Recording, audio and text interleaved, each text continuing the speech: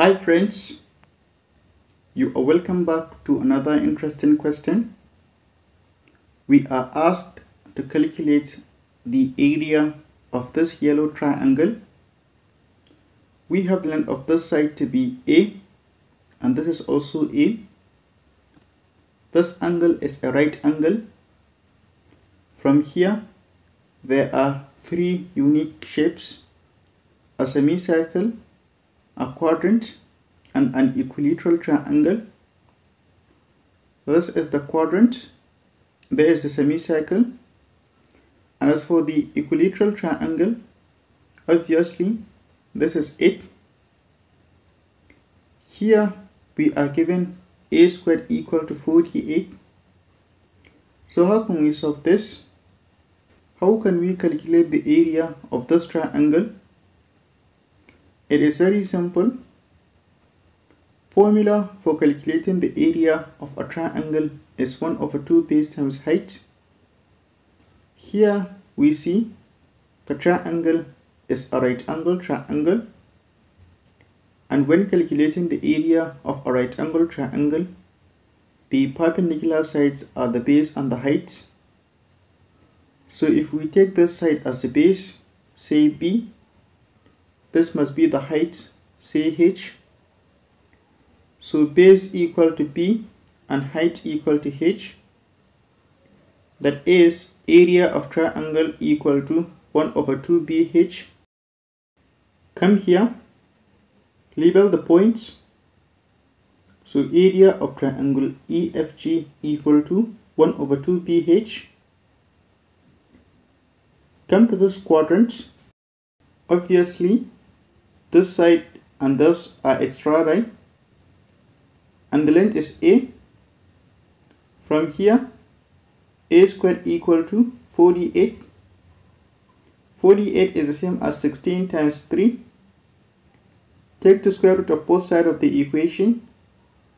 Here square root of a squared is a while here square root of 16 times 3 is 4 root 3 so a equal to 4 root 3 so these radii here are 4 root 3 units in length each with respect to this semicircle this side is its diameter so since the diameter is 4 root 3 meters in length its radii are going to be half 4 root 3 each which are 2 root 3 units.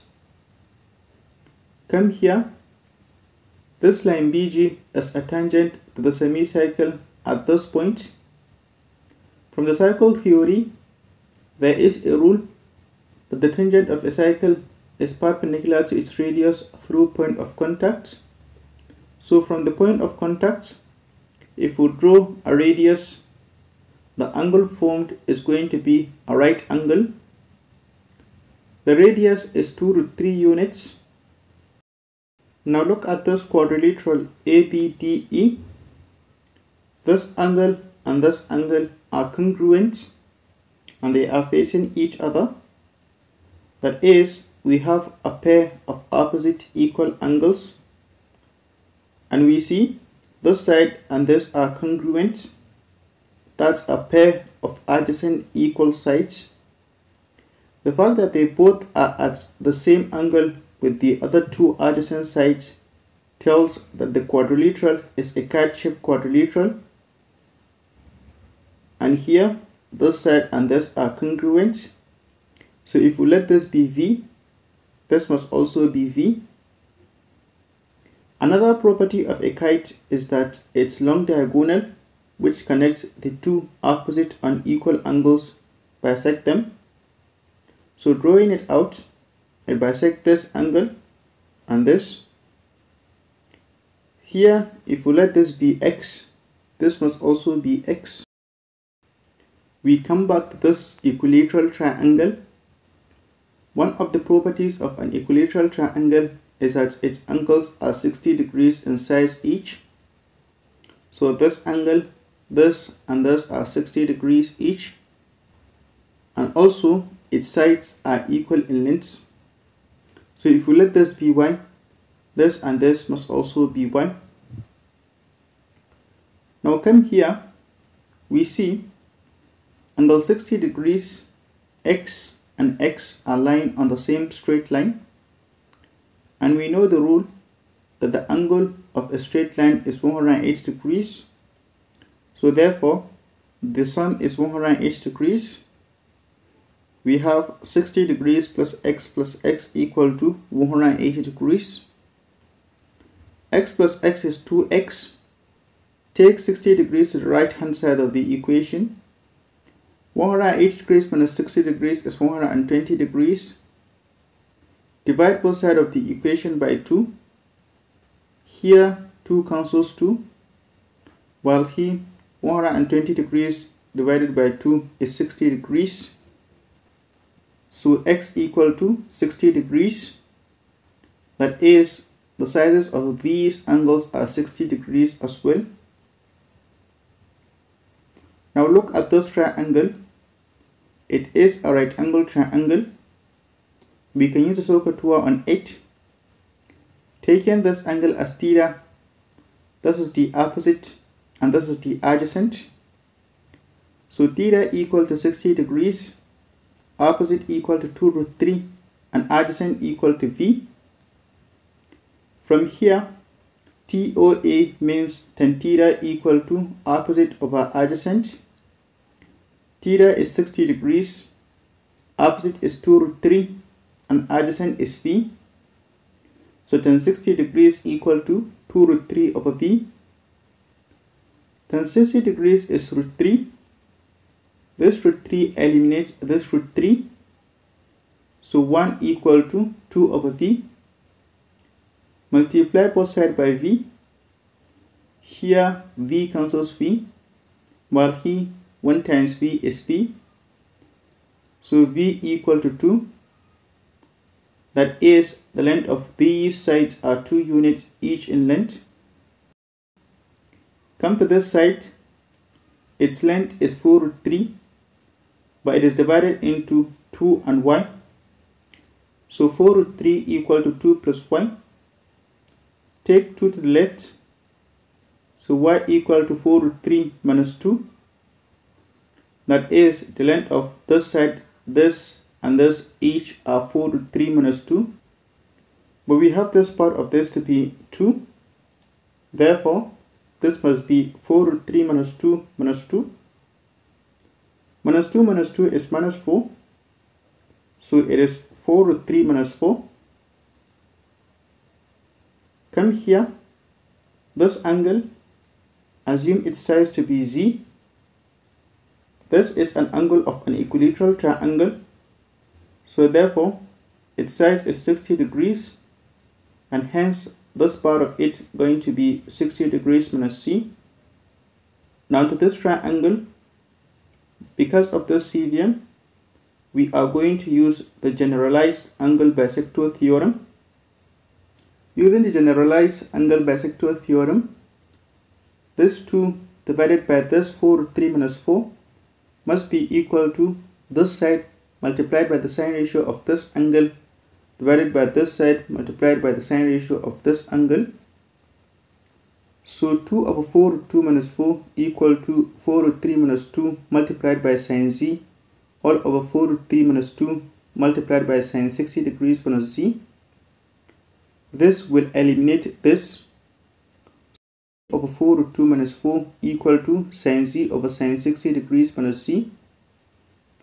Cross multiply so 2 sine 60 degrees minus z equal to 4 2 minus 4 multiplied by sine z. For this sine 60 degrees minus c, from trigonometry, there is an identity that sine x minus y equal to sine x cos y minus cos x sine y. So if we let x equal to 60 degrees and y equal to z, substitute it here so sine 60 degrees minus c equal to sine 60 degrees cos c minus cos 60 degrees sine z.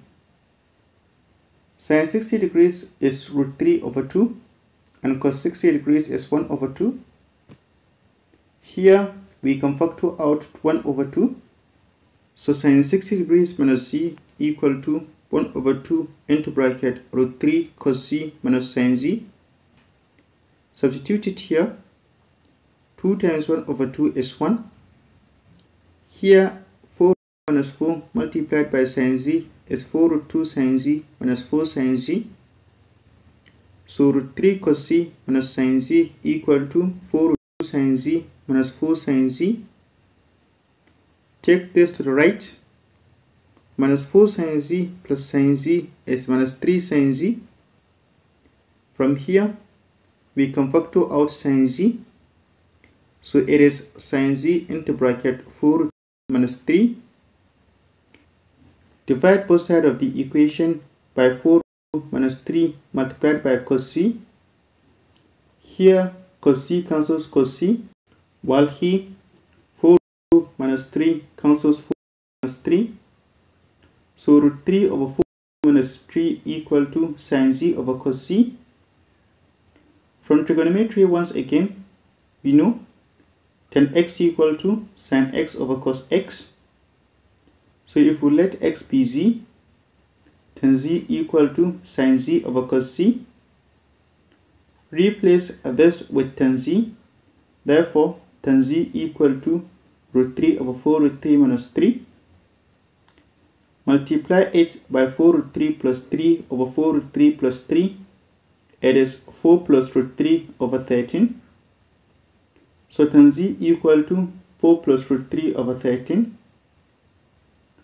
come back to this triangle we can use a SOHCAHTOA on it taking this angle as theta this is the opposite ct this is the adjacent we know tan theta equal to opposite of our adjacent. Theta is C, opposite is T, and adjacent is 4 root 3. So tan Z equal to T over 4 root 3. Tan Z, we have it here to be 4 plus root 3 over 13. So 4 plus root 3 over 13 equal to T over 4 root 3.